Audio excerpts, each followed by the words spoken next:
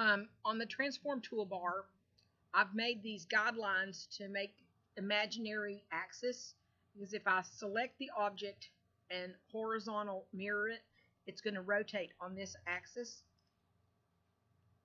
And if I vertically mirror it, it will rotate on this axis.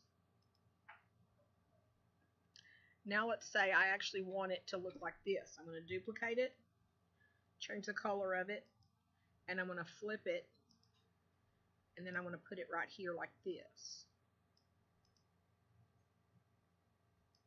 That's actually where I want it to stay, but I didn't want to have to take all those unnecessary steps.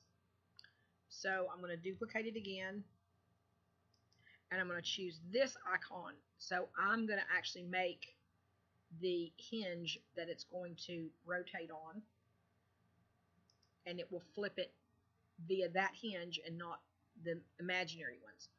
You can also rotate counterclockwise by 45 degrees at a time, count uh, clockwise 45 degrees at a time, put your own number in, say 55 degrees, and notice the arrow is going to the left, which is counterclockwise.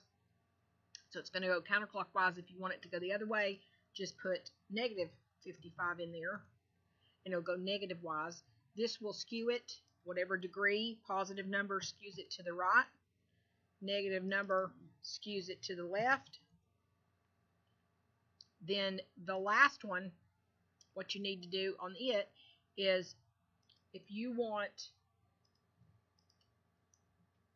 something to be based on a size, it will change the size of something, I'm going to select both of these, but I want this one to be two inches wide in this area right here. So I'm going to select both of them and I'm going to click on this button and from here to here I want it to resize that area to two inches and it resized both of them based on the line that I put for the reference line.